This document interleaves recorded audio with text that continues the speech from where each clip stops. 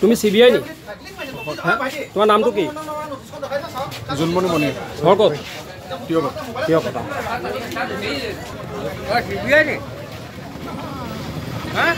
আৰু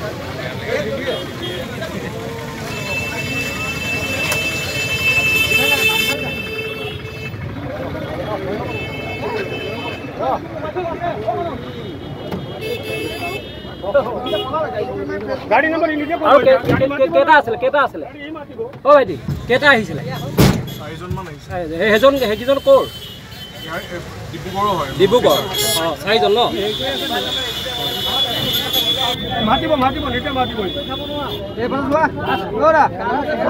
কথাটো এনেকুৱা নহয় আজি পাঁচদিনমান আগৰ কথা কৈছোঁ। এজন ল'ৰা আহিছিলে মোৰ দোকানলৈ আহি পেলাই তেখেতে মই সেই সময়ত মই আচলতে দোকানত নাছিলোঁ তেখেত প্ৰথম আহোঁতে কিন্তু আহিলে তাৰপিছত তেখেত আহিলে মোৰ দাদাজনে মোক ফোন কৰি মাতি দিলে। মই আহিলোঁ তেখেতৰ। তেখেতে মোক আহি পেলাই কৈছে আপোনালোকৰ লগত কথা আছে। আপুনি দীপাংকৰ পৰা হয় নহয় বোলো মই দীপাংকৰ পৰা হয় কথা আছে। তেখেতে মোক মাতিলে বোলে আপোনাৰ কথা আছে। মই তেতিয়া মোৰ দোকানতে বহুৱালোঁ তেখেতৰ লগত কথা পতা তেখেতে মোক নিজকে পৰিচয় দিছে। মই চি বি আই পৰা আহিছোঁ। হা মই ঠিক আছে চি বি আই পৰা আহিছে আপুনি মোক কি আছে। যে আপোনাৰ দোকানৰ কিবা অসুবিধা আছে প্ৰব্লেম কাগজ পাতি ডকুমেণ্টছ ফ্ৰড আছে আপোনাৰ ঘৰৰ ডকুমেণ্টছ ফ্ৰড আছে তাৰ কাৰণে আপোনাৰ আৰু আপোনাৰ বহুত কমপ্লেইন আছে। সেইটো কাৰণে আপোনাৰ ওপৰত এনকুৱাৰী হৈ আছে।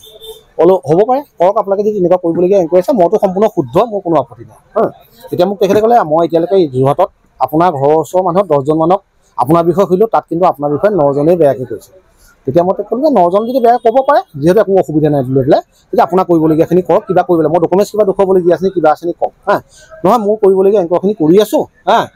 কিন্তু আপোনাৰ অলৰেডি আমাৰ ঘৰৰ আপোনাৰ ঘৰ ৰেট মাৰিবলৈ আহিব পাৰে যিকোনো সময়ত। আপুনি সাজু হৈ থকাৰ ফলত আপুনি ডকুমেণ্টছ সাজু কৰি ৰাখক। বোলো এতিয়া তেনেকৈ ডকুমেণ্টছ মানে কি সাজু কৰিব?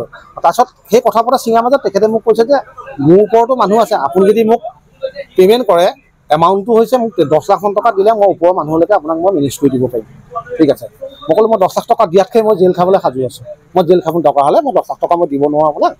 সাজু হৈ থাকিম। সেইটো কাৰণে তেনেকৈ কথা কথা চিঙা কথা প্ৰায় আধা ঘণ্টামান তেখেতে মোৰ লগত কথা পাতি তেখেত মোৰ লগতে জাষ্ট ওলাই গ'ল আৰু কথা পতা হৈ গ'ল। তেখেতে মোৰ ঘৰলৈ এনকুৱাৰীৰ কাৰণে আহিব মই সাজু আছোঁ এনকুৱাৰীৰ কাৰণে।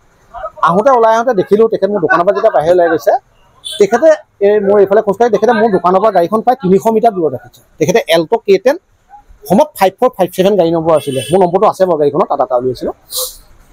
মই তেতিয়া সন্দেহ হ'ল যে যদি তেখেত চি বি আই হয় তেখেতেতো গাড়ীখন মোৰ দোকানৰ মুখত ৰাখিব লাগিছিলে। হা? মই সন্দেহ কৰি মোৰ ভাইটিটোক ক'লোঁ এই দোকানৰ এই ল'ৰাজন আহিছে তেওঁ গাড়ী নম্বৰটো চোৱাচোন তুমি। গাড়ী নম্বৰ চাই আমি তেখেতৰ এম পৰিবহণত যিহেতু আজিকালি মাৰি উলিয়াব পাৰি।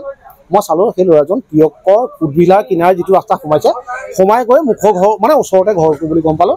আৰু তেখেতৰ আমাৰ কেমেৰা ফুটেজ অনুসৰি তেখেতক আমি তিয়কলৈ পঠিয়ালোঁ কাগজখন ফটোখন পঠিয়াই দিলত আমি গম পালোঁ যে সেই ল'ৰাটোৱে এজন মাটি দালালি আৰু প্লাছ গাড়ী দালালি কাপোৰ আৰু সেই বিষয়লৈ মই যোৰহাট ভোগদৈ থানাত মই লগালগ ছাৰলৈ ফোন কৰিলোঁ এই যে মোৰ লগত এনেকুৱা এনেকুৱা কথা এটা হৈছে।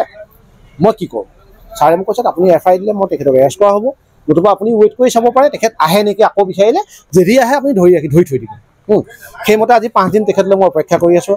আজি তেখেতে প্ৰায় চাৰিজন আহিছে। হা তেওঁ অকণমান আঁতৰত আছে। চাৰিজনে এজনে এ, ক'লা কোট পিন্ধি যে উকিল দেখাত তেনেকুৱা ধৰণৰ আহিছে।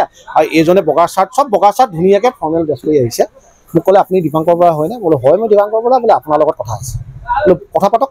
মোৰ লগত বহি কথা পাতিছে। তেখেতে কৈছে মই ইণ্টেলিজেণ্ট ব্ৰাঞ্চৰ ডিব্ৰুগড়ৰ পৰা আহিছোঁ হা? এনেকুৱা এনেকুৱা কথা আপোনাৰ ওপৰত এনকুৱাৰী হৈছে। বোলো এনকুৱাৰী কি কৰিব মোক? বোলে আপোনাৰ ডকুমেণ্ট শ্ব' কৰিব লাগিব হা? বোলো মই ডকুমেণ্ট শ্ব' কৰাৰ আগত আপুনি মোক you show' your I D card মই কৈছোঁ হা? আপুনি মোক এটা আপোনাৰ আই ডি কাৰ্ড দেখুৱাওক। লগালগ তেখেতে মোক এটা আই ডি কাৰ্ড দেখাইছে। আই ডি কাৰ্ডৰ ফটো মোৰ ওচৰত আছে। তেখেতৰ আই ডি কাৰ্ডৰ ফটো মাৰি থৈছোঁ। মই লগালগ যিহেতু যেনেকৈ মই কথা পাতিছোঁ যে বুদ্ধ থানালৈ জনালোঁ এনেকুৱা কথা মানুহজন আহিছে। মোক কি কয়? তেখেতে ক'লে আপোনালোকে ৰাখি থওক তেখেতক আমি কথা পাতিম। কথা পতাৰ পিছত আহিলে দেখিলে ইতিমধ্যে ভোগদৈ থানা আৰক্ষী আহি তেখেতক এৰেষ্ট কৰিছে। আৰু মই এতিয়ালৈকে যিমানলৈকে জানিব পাৰিছোঁ তেখেতকো ফ্ৰড হয় টোটেলি